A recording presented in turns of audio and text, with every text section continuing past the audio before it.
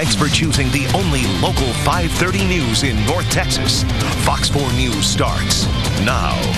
A Keller man helped an Indiana farmer get back to work. 22-year-old Ian Hedeman died Tuesday. Hedeman's hand was sent to 56-year-old Ronald Thurman in Indiana. He lost his hand in a farming accident several years ago. Hand transplants are rare, with only 17 patients in the United States having undergone the surgery. After 16 hours, doctors say Thurman is doing well and will start physical therapy in a few days.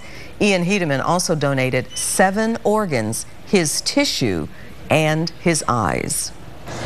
Another donor who gave bone marrow met the little girl whose life she saved.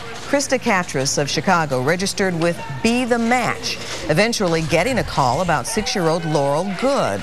Laurel is a patient at Children's Medical Center. She was diagnosed with TAR syndrome, which can lead to bone marrow failure.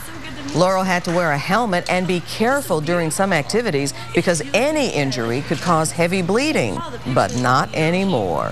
This was going to determine kind of the rest of her life that um, it was just something so small for me to do to, you know, help make this girl's life just flourish. We were just overwhelmed that this beautiful young lady would save our daughter by donating her bone marrow. And, um, you know, Laurel's healthy now because of her gift. And thanks to Krista's donation, Laurel can be a little girl again.